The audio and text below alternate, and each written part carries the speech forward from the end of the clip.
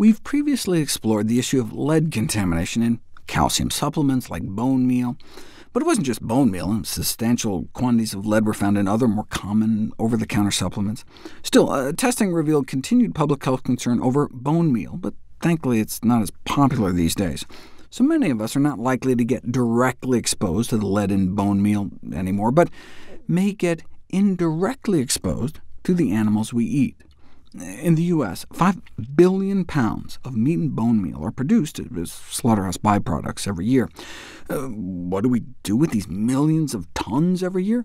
We feed it back to farm animals, uh, particularly chickens. Uh, now, most of the lead in the bone meal passes right through the animals into their waste, but then we take that waste, cow, pig, and chicken feces, and feed it back to the animals again. You guessed it. So you can see how the levels of contaminants might build up in their bodies. Uh, I've talked previously about what that might mean for making something like chicken soup, but the original concern about these kind of feeding practices, feeding cows to cows and pigs and chickens, was the spread of prion diseases like mad cow disease. Uh, but it's not just prions that this kind of recycling can magnify, but other toxic substances, including lead. So a more plant-based diet may be able to lower lead exposure, and even more plant-based diet could theoretically lower exposure even more.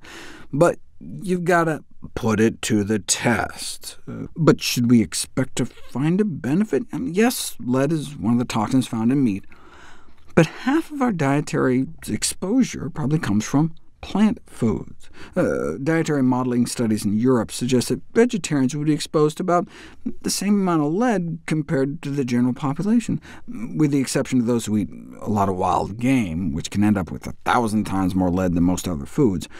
In fact, a vegetarian diet may even be higher in lead, but it's not what you eat, it's what you absorb.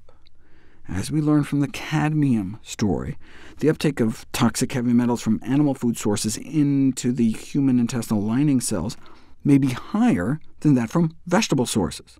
Uh, that's how you have a vegetarian with some of the lowest concentrations of lead and cadmium in their blood, despite higher concentrations in their diet. Mm, but you don't know until you put it to the test. There seemed to be a tendency towards higher fecal elimination of lead following a change to a vegetarian diet, with nine subjects on average tripling their elimination of lead, three unaffected, and four dropping by about half. But this study only lasted a few months. The difference wasn't statistically significant. So let's try a year. A shift towards a diet characterized by large amounts of raw vegetables, fruits, and unrefined foods, whole grains, with the exclusion of meat, poultry, fish, and eggs, though it did include fermented dairy like a type of soured milk, as well as cutting back on processed food and junk. They took clippings of hair before and after the shift, and got significant reductions in heavy metals, including cutting their lead level nearly in half. Uh, check this out.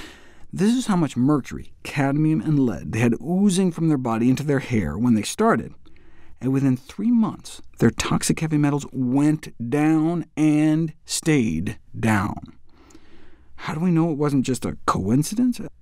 Because they went back up a few years later after the study was over, after they went back to more of a regular diet, and their mercury, cadmium, and lead levels shot back up to where they were before.